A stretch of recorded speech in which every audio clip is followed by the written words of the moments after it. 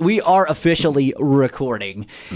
Ladies and gentlemen, thank you for checking out the Aaron Advantage podcast. Back by popular demand, we have Will the Thrill Ritter. Uh, he he just he was so much fun last time. We had to have him in again because, as I mentioned previously, I'm going to try to get more agents' perspectives on the podcast this year because not just helping buyers and sellers is what I do, but educating other agents is something I'm passionate about, and I think the best way to do that is through the experience of myself and others. So, Will, It's great. welcome back.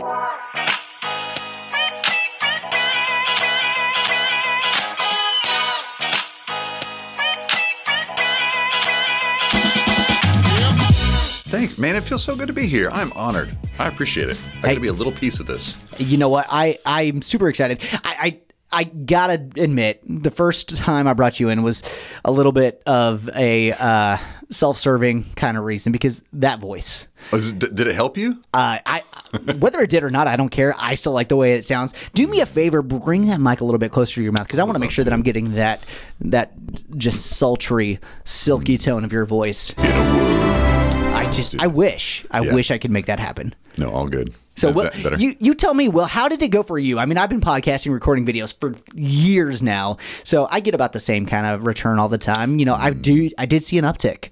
Did uh, you? having you on? So I, I think this is this is good for both of us. But uh, Yeah. what what kind of feedback did you get after we spoke last time? You know, it was just it's fun to hear people say, uh, "Oh, I love listening to you uh, talk. I love, you know, would you narrate a book for me or something?" You know, just just fun little things. But honestly, I the biggest joy for me is what you just explained. That the point of this podcast, the point of these things you're doing, is to educate other realtors so that we can help our clients and ultimately our community. So if I can lend to that in any way, man, I love it. I'd love to. Well, I appreciate that. You know, I, I tell everybody the mission of the Aaron Advantage team is to educate the consumer on the process of buying or selling a home to take the stress out of the sale when it's time to make a move. And honestly, that education also comes from making sure that agents are well educated so that they're informing their clients the best possible way. And unfortunately, we live in a world that the emphasis is put on let's get the agent's license, let's get them out there. And mm. it's not necessarily put on, hey, let's make sure they're the best informed, the best trained, and the best educated people out there. So hopefully somebody hears this today and gets some great information on some things that they can help better themselves, better their experience, and better their clients' experience in the long run as well. Let's change our community for the better. Let's together. make it happen. so today, specifically, we're going to be talking about uh, another Inman article that I found that I think is something that is definitely uh, pertinent in today's market above any other market because you know we're we're in a fast-paced, highly competitive market in the real estate industry. And unfortunately I'm involved in a lot of different like committees and at the state local and national levels. I go to a bunch of education and training and professionalism is one of the things that continues to come up. And I think some of that professionalism stems from what this article is talking about specifically which is 10 myths that agents wish their clients didn't believe. And we're going to talk about these myths individually but first off I want to say that if you don't want your clients to believe these things agent educate them on them. Make sure It's they up to you. tell them why they shouldn't believe these things. Don't just wish they didn't believe them. Let them know why it's not true and how you can overcome those myths. So, today's first myth, which in my opinion is actually two myths in one because they're two sides of the transaction, is that an agent doesn't have to expend much effort to help a buyer or seller today. Will, Wow. you don't work very hard, do you? Oh man, yeah. I mean, I do nothing all day. I just lay around, wait for deals to come in. No. I mean, you're basically just sitting there waiting for the phone to ring. That's all there is. Oh my gosh, yeah, and and that's you know I'm sure you've experienced this too, but this is a perception that I get even when people want to sit down with me to talk about a career in real estate. It's just like, oh yeah, I'd love to sell some homes and make a lot of money. It's like, okay, that's not reality. Right. The reality is, and honestly, as hard as we work, you know, we don't measure things in the way that maybe like a nine to five person would, but we work way more hours. If we were to, to somehow be able to gauge them but my work looks different right? Your work looks different. We're Right. meeting with people for the most part people that we we love that we're passionate about. We want to help them buy and sell and we're answering their questions their texts late at night or we have a phone call we have to make first thing in the morning we got to facilitate something that's all involved in real estate work and it's a lot of time Yeah, you know, the best way I could break it down is I've seen a, I think it was an infographic or something. And it's like navigating the mess, and it's this crazy diagram of all the things that real estate agents do after a buyer gets a deal accepted. And it's like something like upwards of 180 steps on every mm. single contract that we get done. And that's just on the buyer side.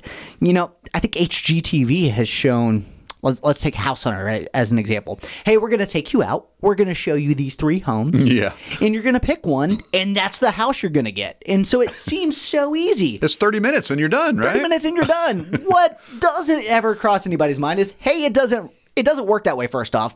Yeah. Statistically, you're looking at at least 10 to 12 homes before you find the one you want to make an offer on in markets past. In markets today, you, you may make offers on 10 to 12 before you get it because Yeah.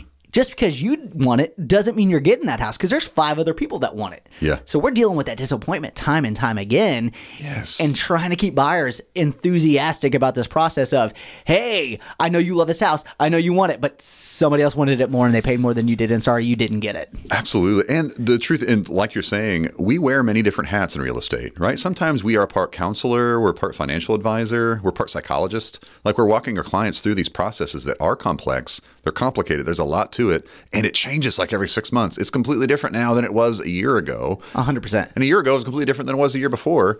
And we have to adapt and we have to evolve and we have to then educate our clients, like you're talking about, so that they adapt and evolve with the market. Right. Or they're just going to miss out. It's not going to work. Exactly. Let's talk about the seller side for a second. That's Yeah. real easy now um, because there's all these buyers that want these houses and they're willing to spend way more than people are asking for them. You just got to put a sign in the yard and you collect a check, right? Anybody can put a sign in the yard. The value of a real estate agent is not just putting a sign in your yard, it's skillfully navigating the whole process. And not just that, but like bringing you maybe multiple offers and helping you navigate when things go wrong because things always go wrong. They do. And, you know, I think the best thing I heard, uh, we had uh, Hoby Hanna with uh, Howard Hanna Real Estate, which Yeah. is one of our partner companies uh, as of last year. Um, he was talking about the fact that the fall through rate, or what he calls the bomb deals, which which is a term that I just will never forget. Now it's like, yeah, that, that deal blew up. It was just a bomb.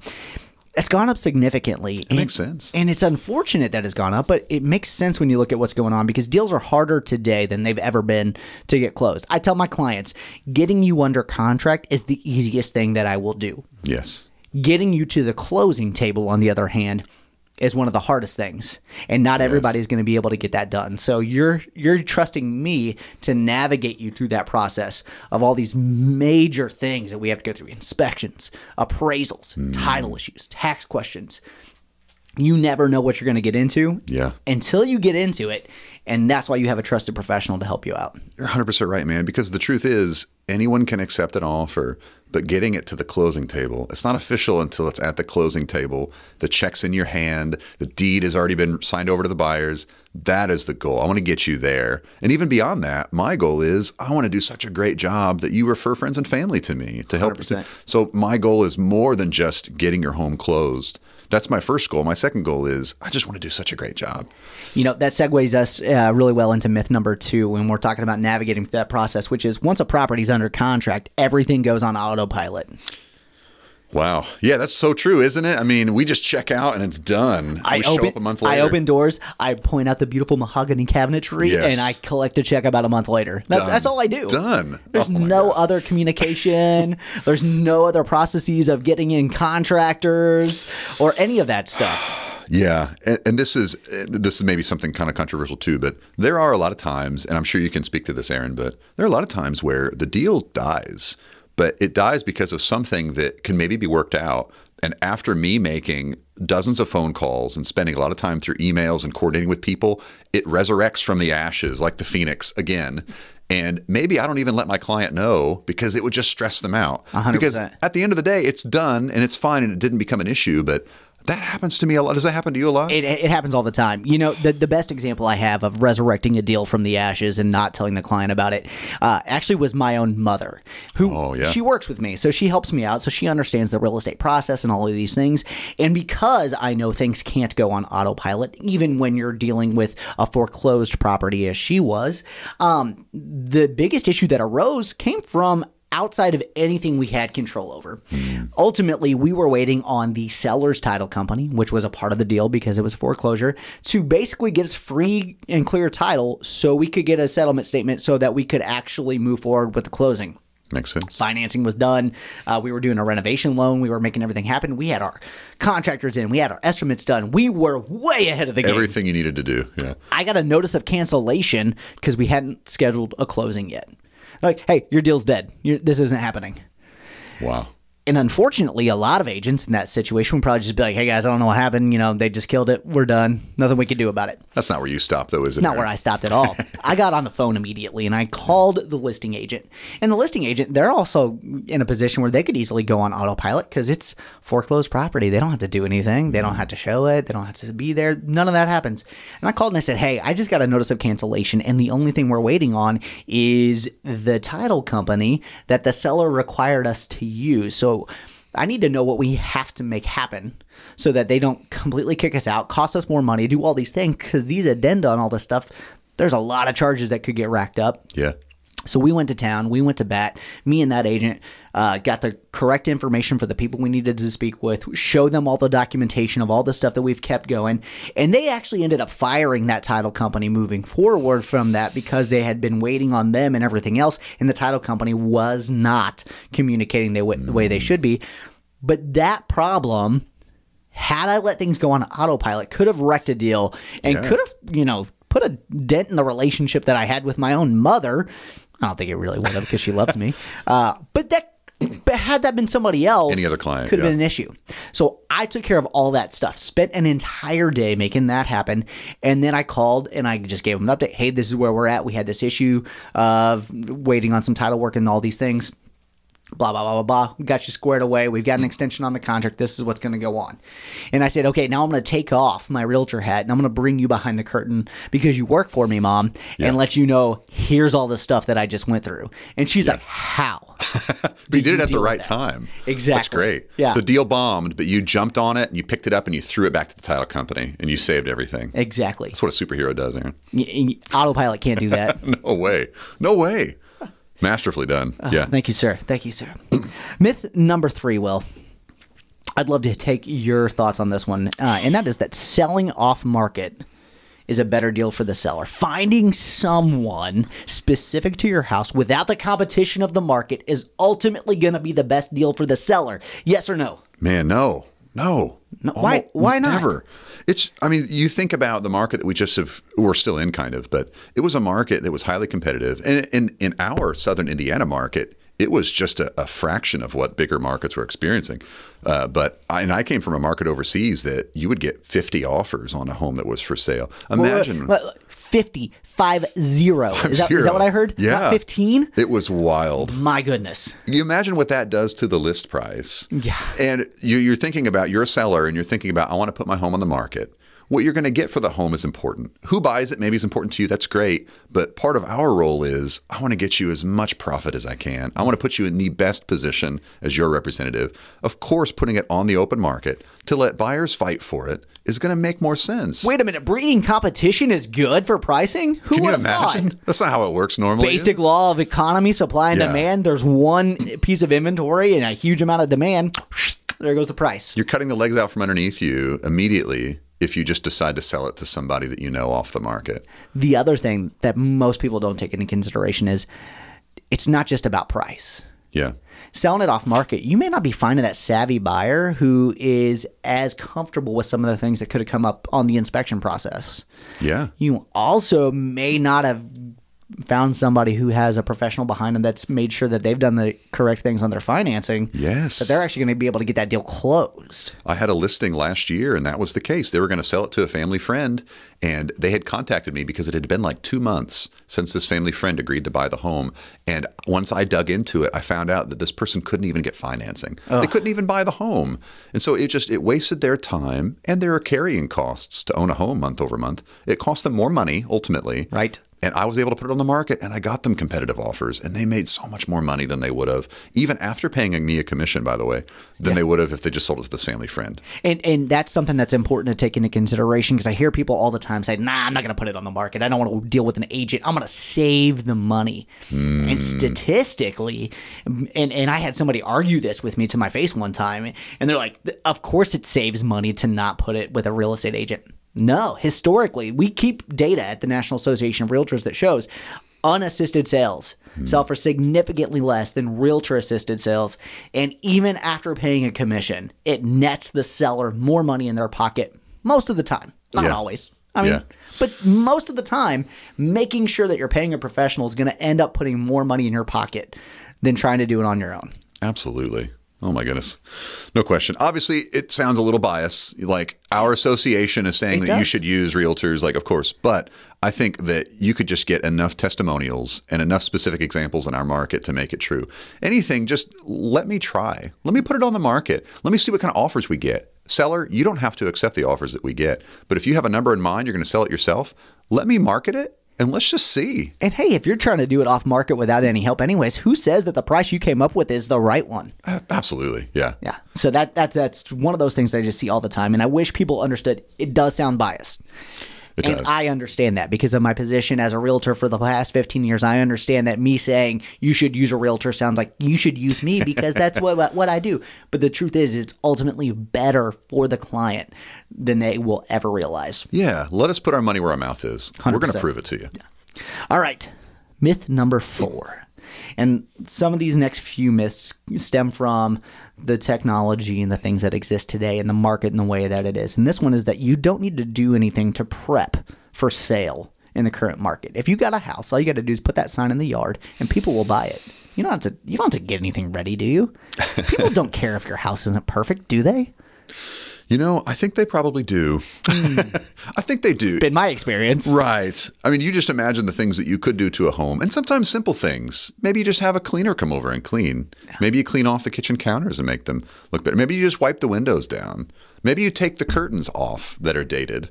Just simple things, and they may not even cost money. Maybe we throw it back to the last episode we recorded together, and you got to get rid of the busts of the pets of The the pet of the busts on the past. man. Yeah, maybe if that translates to more interested buyers, which would translate to more offers, that Right. just means more money in your pocket. Why would you just say no to money? And the other thing is like prepping your home for sale could be simple kind of things that it's just minor little repairs. Yeah. Chipping, peeling paint, uh, cracked window, things that you know you're probably going to have to do at some point, but it's like, mm, why do I really need to if I'm going to have all these buyers that want my house? But the the problem is, and that that I find is buyers just because there's not a whole lot of inventory doesn't mean that they're willing to just accept a property in Yeah. any condition. They're They're still just as picky, if not pickier, than I've ever seen in the past. You bring a good point. Yeah. They may say, you know what? I don't like the colors in this house. I don't want to have to repaint it. And you and I know that it's a couple hundred dollars and a weekend's worth of time to repaint that house. But that buyer's like, that's fifteen thousand dollars I'm gonna have to spend. Hmm. You even brought up the point that we have a record number of deals that have fallen through bomb deals. Bomb deals. And we've seen it too. And probably part of that is I've encountered it personally in my listings, but buyers that they have to beat out five other buyers, they're paying top dollar or more than top dollar. They're going to get really strict on those inspections. Oh, absolutely. And they're going to stick to their guns. Seller, you need to repair all these things. Maybe they wouldn't have asked for all those things in a normal market condition or Mm-hmm. if they weren't competing with other buyers. But that might be the thing that killed the deal. Oh, 100%. You know, and it's it's one of those things that again it goes back to education that I tell people on the front end just because you paid $10,000 over asking price, for example, it doesn't mean that the seller is going to do all of these things. I understand you want to Yes. be pickier and make this happen, but you've got to understand from the seller's perspective, you're one of seven people that they had write an offer. Exactly. So you got to make sure you do that. But seller, you still got to take care of stuff. Just because there were seven other people that wanted to buy this house doesn't mean that any of them are going to accept these problems. Yep. And to our prior point about having a professional involved, I mean, I can tell you a personal story of a home that it was on a well, which is not very common, but the homeowner didn't know what that would mean for buyer financing. Mm. Most financing would require, if there's a well on the property, it needs to get tested. You need to find out if there's nitrites, if there's anything in the water, like coliform bacteria, that would prevent it being drinkable. Right. And that created an entire issue up front because I knew to look for it. We were able to get an inspector out to get the well tested, and it did test positive for coliform. We were able to get it treated and done, and it never became an issue when we sold the home. But if we hadn't done that, if the homeowner didn't know, if they didn't have a professional in their corner giving them that information, Right. that would have became a, potentially a deal-killing issue. And again, that could be something that's not a big deal. They obviously got it taken care of, no problem. But a buyer may hear that and be like, "There's no chance I'm buying this There's bacteria. house." Yeah, exactly. I'm drinking it. Oh, my, my children are going to live here and drink this water. No, absolutely. That's deal killing. Yes. But we prepped before the sale and it saved the deal. You know, you you really I, are you reading ahead on these because you No. just transitioned perfectly into the next myth, which is that everything I need to know about buying or selling a home can be found online. And you just touched touched on something specifically that had they not had you, they may not have even thought to do that. And just because they can find out some of this information online if you don't know what to ask, how do you even know how to find the Exactly. problems? Great point. Yeah. And not only that, are are every single aspect of the sale available, searchable online to find an answer for it? Yeah, like where do you go? You have a question about well water in, in southern Indiana. Where would you go to find that information online? I wouldn't. I would call my realtor who has the Yes. answer because they've dealt with it for, for a decade and a half. Well, at the very least, like I could tell a client, hey, you need to talk to the Vanderburgh County uh, Health Department. Right. And they have a well water testing system, and that would be a person that you could talk to. We could connect you to the right professional. Hey, let's just talk about the fact that you said Vanderburgh County Health Department. Guess what? The Vanderburgh County Health Department also takes samples from Posey County, Gibson County, Warrick County, all these different places because they have a lab that they understand. Hey, we'll test it. We'll make sure we understand what's going on. Yep. And there's a lot of people in all these surrounding areas that have no clue that that's even an option. Exactly. And those are people who are professionals in the industry. Imagine what the consumer thinks about that. Yeah, that's a great point. Not only that, there's a lot of things that are specific to each individual person and each individual transaction that are going to be different from time to time to time that you're not going to be able to find an answer online that says, "Hey, this template is exactly how a transaction's going to go." That's a good point. I've got a lot of great task lists. I've got a lot of great automated systems for my business that I know that there are certain things that no matter what happens in the transaction, these things are going to take place. Hmm. But there are no two transactions I can point to in my entire history that I can say those went down exactly the same way. Yeah. How am I going to find online where I find the discrepancies or how do I handle these problems with negotiations that have nothing to do with the condition of the house or anything else? It's just the emotion of the people involved in the transaction. Yeah. Where, where's the. Google search for that, Will? I guess you got to call a psychologist or something. I don't know. Yeah. That's a great point. That's part of our value too, right? Is what we're bringing. Is we've been through this, not maybe exactly, but enough that we can give you an educated opinion on where to go to handle this, or maybe we've been through the exact same situation. We know what to do in this situation. Let us help you. exactly. Exactly. Myth number six, again, one of those things that comes stems from this low inventory market that we have. Overpricing can be done in today's market, especially since there is so little to buy. If I want over asking price, if I want over market value, I should list it way over value. Hmm. True or false? False. Why? Oh my gosh. I can tell you, I've done these statistics too.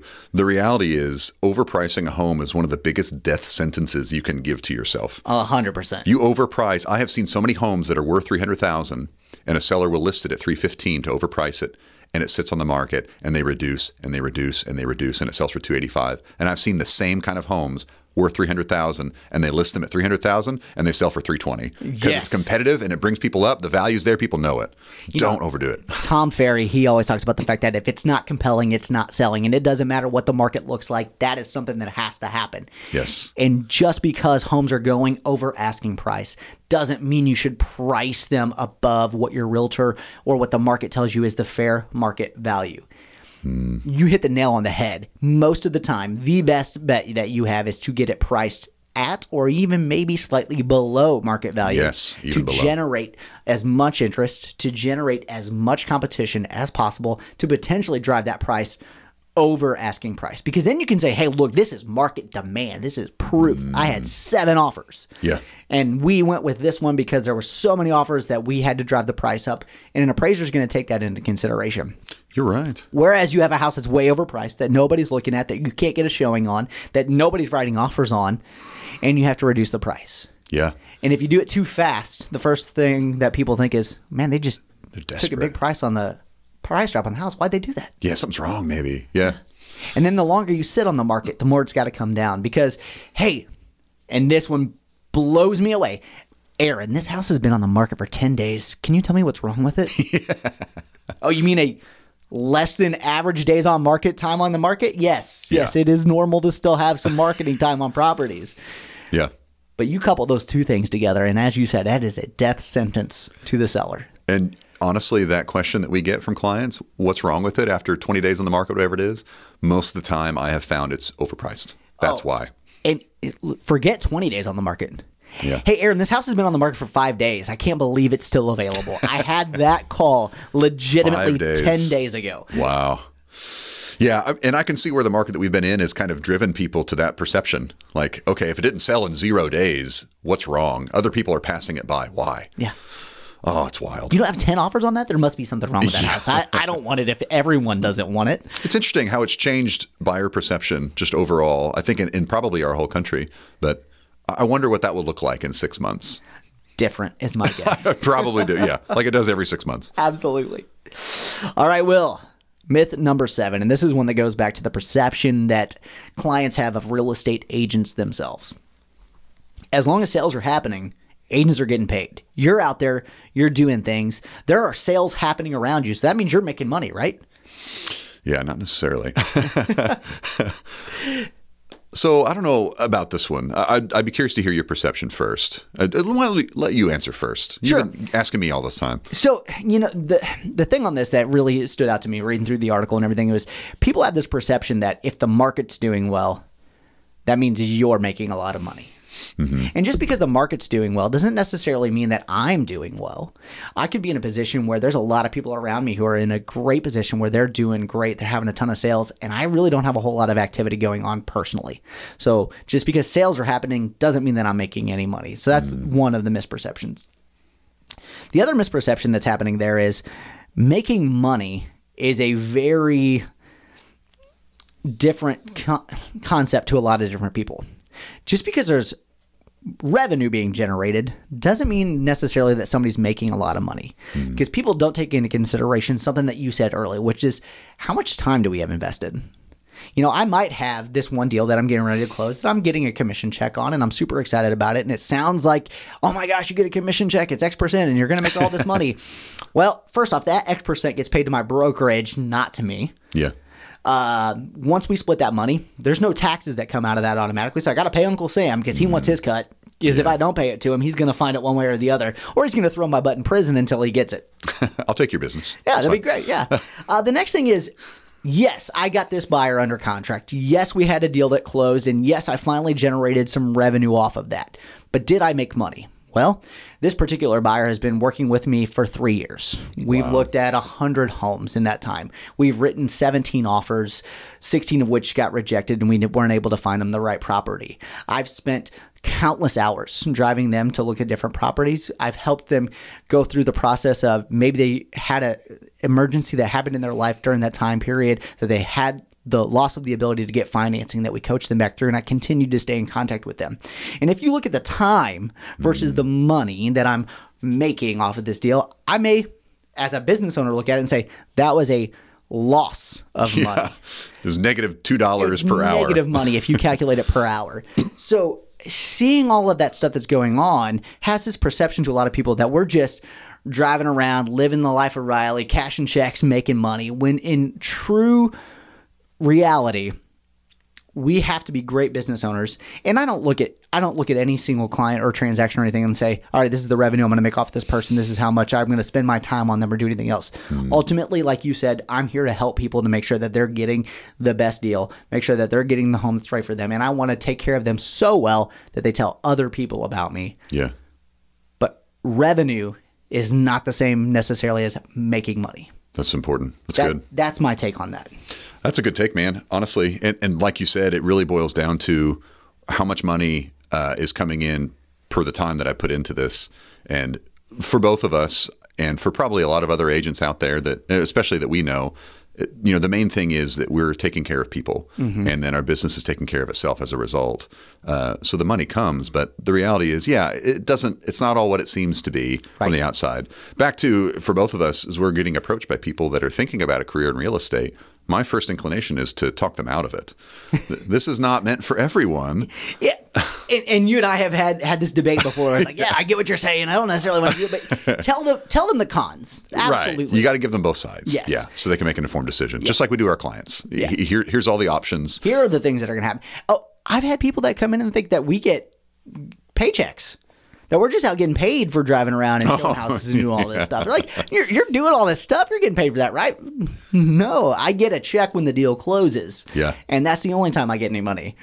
We've all had those months where we had zero dollars of income. Yes, we have. Things get pushed back or don't work out, and we have no sales, therefore no income.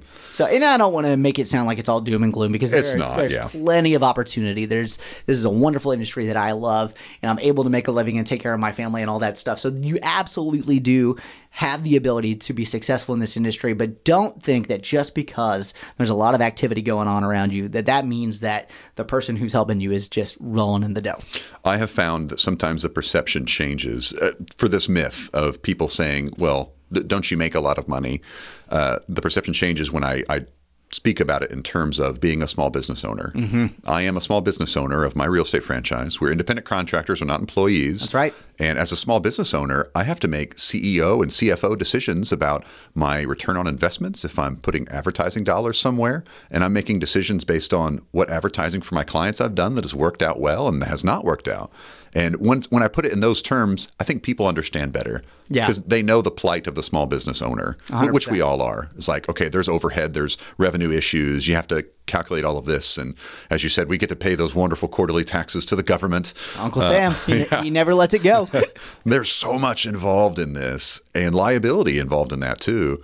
It's more than just collecting a paycheck. Absolutely. By far. Absolutely.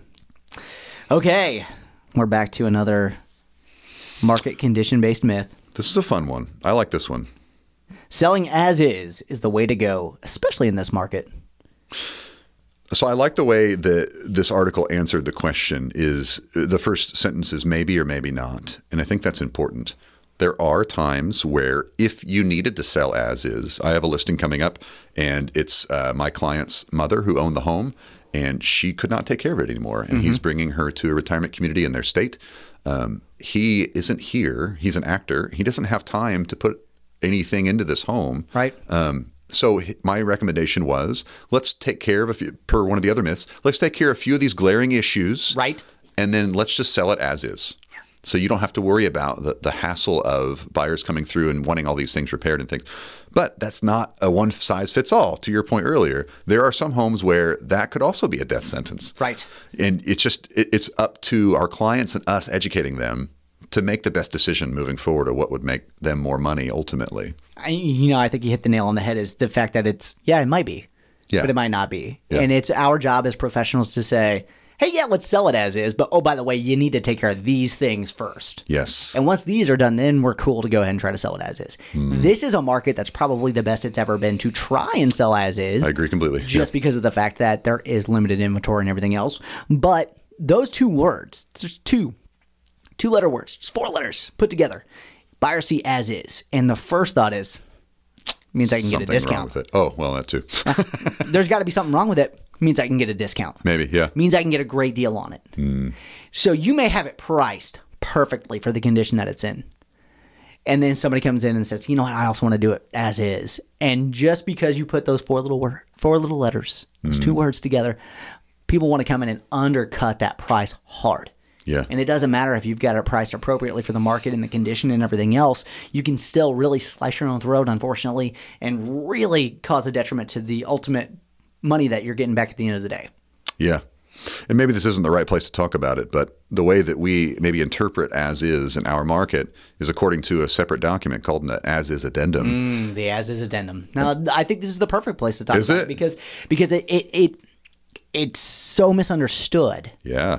That people think sellers I should say think oh as is that means if they come in and they use this as is addendum they got to buy it no matter what Exactly. Mm, read that document one more time. What it actually says is unless you've disclosed everything that you know is wrong with the property and you know absolutely everything that's wrong with the property and who knows everything that's wrong with the property, they c- if they find anything, anything that was previously undisclosed, deals off. I Buyer get my money back, away. I walk away. Yep.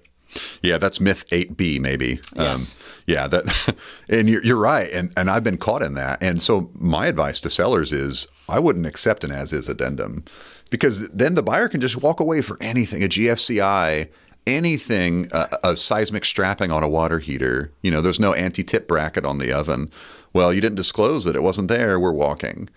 It's so dangerous. So it's important again to one of the main points we're making here is that we are educating our clients on what these things actually mean and what it could actually mean for their real estate. What are the dangers to you for accepting this? Because if you have Yeah. seven offers, just because one says as is, doesn't necessarily mean that that's the best offer. Absolutely. And yeah. just because you have another offer that's, you know, maybe a hundred thousand dollars higher than another one, let's say some crazy number, if it's never actually going to appraise and get the deal done, that may not be the best offer. So that Yeah. education piece tantamount to what we do.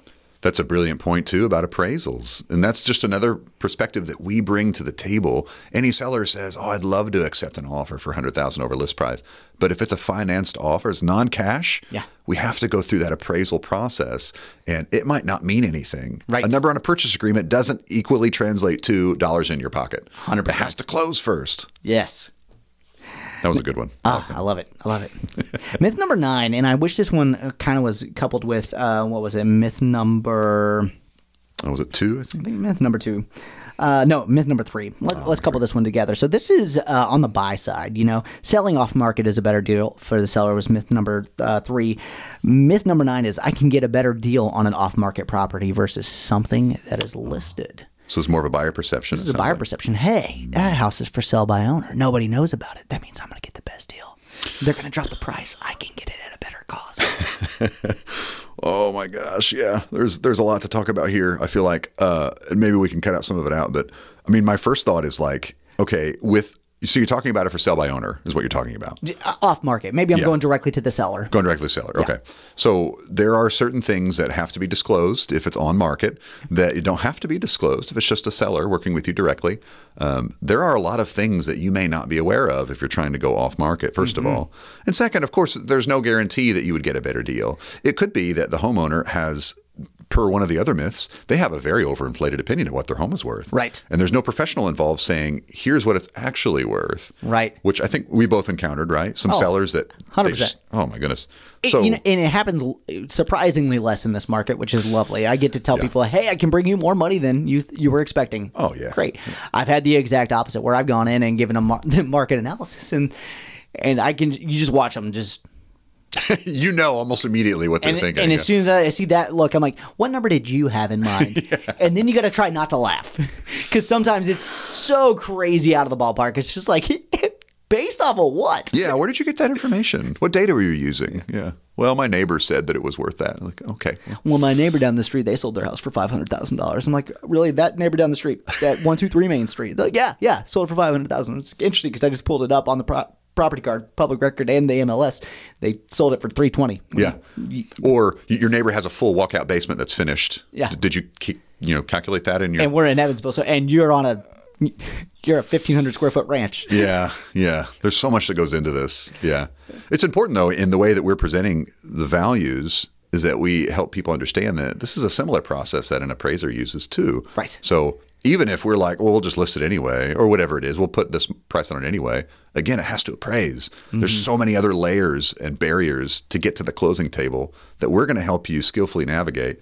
You may not be able to do it yourself. Right. Now, one of the things that myth number nine that I took into consideration because this is something I've been dealing with with buyers over my entire career. Off market property, they go and they find these foreclosed properties. Oh, and yeah. they're not listed with anybody yet. And they're sure that they can just they can get their hands on it and get a great deal. And they're just gonna be like these gurus at home flipping and all this stuff. Well, they went to a seminar, Aaron, so they, know. They, did, they went to a seminar. well, A, if it's not listed with anybody in the state of Indiana, the likelihood that you're going to be able to purchase it is mm, between slim and none. Because banks are just like, yo, we're not in that part of the process. We're not going to make it happen. I had Yeah. somebody recently reach out to me to a property. Fannie Mae's bought it back. They're trying to determine if they want to do any kind of renovations to it or put it on the market as is. Cool, totally get it. Hey, I got a cash buyer who's ready to make an offer right now. Would they even consider that and forego that whole process? I got a resounding no. Hmm. Not only no, but you're the fifth person to ask about it. We have a list of people. If you want us to keep you on the ah. list, we'll keep you informed. Nah, I'm hmm. good. Thanks, anyways. Yeah. So there, you're not going to necessarily get a great deal there. The other thing is we're in a judicial state, which means that our foreclosures go through sheriff sales and they go through a judgment process and all these things that take time. And a lot of that time is spent with no climate control inside the house Oh, yeah. and no climate control inside a house with wildly varying temperatures and huge drastic changes in humidity mm. cause problems. A lot of problems. And those problems are things that you have to take care of that don't necessarily equate to increased in, increases in value. Hmm. So you get in there, you think you found this wonderful deal, you got this all figured out, and maybe you got a price that's okay for what the property is post renovation, but then you find out that you have tens of thousands of dollars of repairs that have to be completed that give you zero on on value because Guess what? You have to have working plumbing. Guess what? People are expecting a home that's not riddled with mold. Yeah. You didn't get a good deal. Yeah, you're absolutely right. There's so much more that goes into this. And oftentimes these off-market houses, maybe you don't have a chance to get an inspection or maybe it's just an as-is deal and you mm-hmm. don't get to negotiate any kind of repairs or anything. Or maybe it's cash only and you don't even have an option of financing it. I mean, there's so many restrictions on something like this and you just you just don't know. You don't know what you're getting into fully. Absolutely. It's just a dangerous situation. 100%. Just don't do it. Don't do it. Contact somebody who knows what they're doing. Yes. Which brings us to brings us to myth number 10 and this one is this is something that I've heard so many times and that is that uh, Will, you know, you and I we just make too much money. We yeah. We just we just print money, especially in this market where houses are selling like there's no tomorrow. All you got to do is put a sign in the yard. You're not spending any real effort of making anything happen. You're just printing checks, making way too much money. I like that this is the last myth. Hopefully, at this point, anyone who may believe this at the beginning understands that that's not true. exactly. But th- it's it's interesting this perception, and I think it's perpetuated by our industry is one that a lot of realtors that we look at nationally, Barbara Corcoran, a lot of these, you know, they, they have they have the limelight, Right. And maybe they've thrusted their career based on real estate into something else, Right. But the reality is, most of us are just people that live in our communities, trying to raise our families, that are passionate about our communities. And the money that we make is usually commensurate to the work and the passion that we put into it. And I think we know the statistic that 80% of homes are sold by 20% of realtors. Um, and that's just why we want to be the best at what we do. We want to be excellent so that we can grow our business. And as we grow our business and we get more referrals from people, we make more money. Right. And as we help our clients make more money, we make more money too because our commission is percentage based. Absolutely. I get my client another $50,000 over the list price. I get another 3% or whatever it is of that $50,000. Everyone wins. It's perfection. 100%. Now, here's something that I also wanted to pull up because this is one of those things that, you know, there's this perception of it. all these agents are just making all this money and doing all this stuff. Now, this is income data from the National Association of Realtors. This is from uh, 2019. I can't get tw- uh, the most recent numbers to, to pull up right now, um, but they're not that far off of this number.